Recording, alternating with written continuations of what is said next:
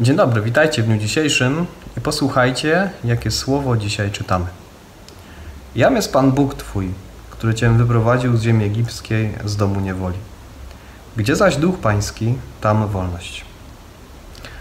Dzisiejsze słowo nawiązuje do takiego znanego nam stanu, e, który może zapanować w umyśle, w naszej duszy e, na co dzień, co się oczywiście przekłada właśnie na co dzień. E, chodzi o wolność. Myślę, że rozumiemy ten termin dzisiaj z takich dwóch perspektyw. Myślimy, że możemy go osiągnąć po pierwsze przez, przez nasze starania, przez nasze zasługi, jakieś takie dążenie do tego, żeby być wolnym człowiekiem, E, czyli wiąże ten termin e, z moim e, działaniem. I w zasadzie czasem uważamy, że tylko i wyłącznie z moimi decyzjami, z moim działaniem. Ale uważając tak i rozumiejąc w ten sposób właśnie termin wolności, myślę, że tak naprawdę jej nie przeżywamy.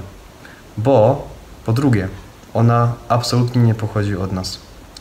Przypomina nam o tym Jan Chryzostom w dzisiejszym dniu. Wolny jest tylko ten, kto żyje z Chrystusem. Myślę, że warto to przypominać za każdym razem, że prawdziwa wolność w umyśle, w duszy, e, w życiu pochodzi tylko i wyłącznie od, od Jezusa Chrystusa. Jest uwarunkowana tym, co On zrobił dla mnie i dla Ciebie na krzyżu, kiedy umierał za nasze grzechy, za nasze błędy.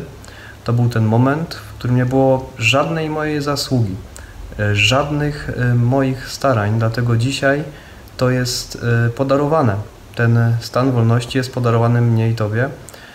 I tylko już nie zdając się na to, przez zaufanie, przez wiarę, można powiedzieć, jestem wolnym człowiekiem w Jezusie Chrystusie.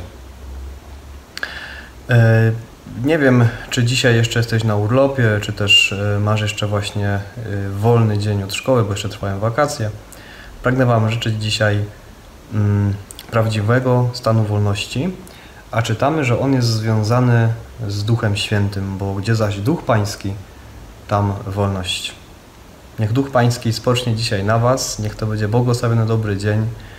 E, bądźcie wolnymi ludźmi w Jezusie Chrystusie. Zostańcie z Bogiem. Do zobaczenia.